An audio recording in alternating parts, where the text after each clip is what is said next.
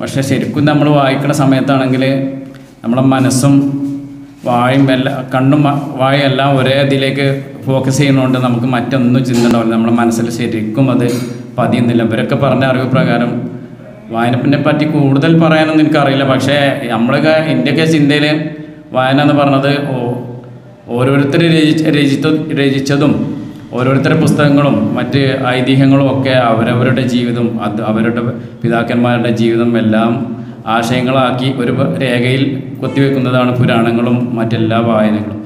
കൂടാനും കൂടി ആളുകളുടെ ആശയങ്ങളാണ് ശരിക്കും നമുക്ക് ബുക്കിൽ ബുക്കും രീതിയിലൊക്കെ കിട്ടുന്ന വായിക്കുന്നത്. പക്ഷെ നമുക്കത് അറിയില്ല.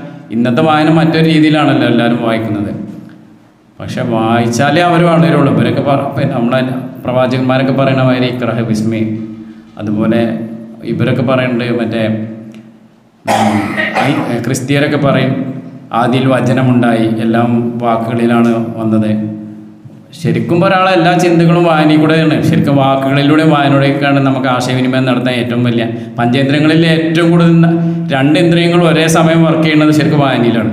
നമ്മുടെ കണ്ണും വായും കൂടി ഒരേ സമയത്ത് വർക്ക് ചെയ്തെങ്കിൽ നമുക്ക് വായിക്കാൻ കഴിയുള്ളൂ.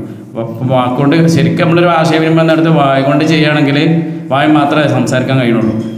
പക്ഷെ അതുകൊണ്ട് തന്നെ നമ്മളെ ബ്രെയിൻ നേരിട്ട ആ ആശയം അതുപോലെ അവർ അവരുടെ മനസ്സിലെന്താണോ അത് നമ്മുടെ മനസ്സിലേക്ക് ശരിക്കും പകർന്നു തരാൻ പറ്റിയ ഒരേ ഒരു മാധ്യമം ശരിക്കും വായന തന്നെയാണ്. വ്യത്യസ്തമായ രീതിയിലാവും ഒരുപക്ഷെ എല്ലാവരും രചിച്ചത്.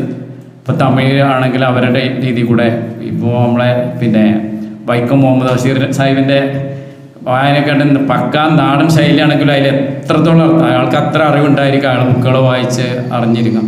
അതുകൊണ്ട് വായന എന്നത് ശരിക്കും നമുക്ക് നമുക്കും നല്ല അടുത്ത തലമുറയ്ക്കും ഭൂമിക്ക് എല്ലാവർക്കും വളരെയേറെ പ്രാധാന്യമുള്ളതാണ്. ലൈബ്രറി ഒക്കെ ശരിക്കും ഇപ്പം ലൈബ്രറിയിലൊന്നും ആരും കുട്ടികൾ വരുന്നില്ല. നമ്മളും വായി ഞാനും വായിക്കാത്തവരാണ് അത് സത്യം കുറച്ചൊക്കെ അറിയുള്ളൂ. പക്ഷേ ലൈബ്രറിയൊക്കെ ഇപ്പോൾ പഴയ പുസ്തകങ്ങളൊക്കെ അങ്ങനെ തന്നെ കിടക്കുകയാണ് പുതിയ തലമുറ ആരും ലൈബ്രറി എടുക്കുന്നില്ല. ഞങ്ങളവിടെയൊക്കെ ക്ലബിലൊക്കെ ലൈബ്രറി കഴിഞ്ഞ കൊല്ലം ഞങ്ങളെല്ലാം പുസ്തകമെല്ലാം എടുത്തിട്ട് തട്ടി പിന്നെ ഈ ജന്തു പിന്നെ കളനാശിനി അടിച്ചിട്ടൊക്കെ ജന്തുക്കൾ ചെറിയ പുഴുക്കൾ വരുന്നതിന് പകരം അത്രയും അതപ്പതിച്ച കാലമാണ് വായന വായന. പക്ഷേ നമ്മൾ പുതിയ തലമുറക്കൊക്കെ ശരിക്കും നമ്മളെ മക്കൾക്കും ഒക്കെ വായന ഒരു നല്ല ശീലമാക്കി കൊടുക്കണം എന്നാണ് എനിക്ക് എളിയ അവസരത്തിൽ പറയാനുള്ളത്. ഇത്രയും പറഞ്ഞുകൊണ്ട് ഞാൻ ഉപസംഹരിക്കുന്നു.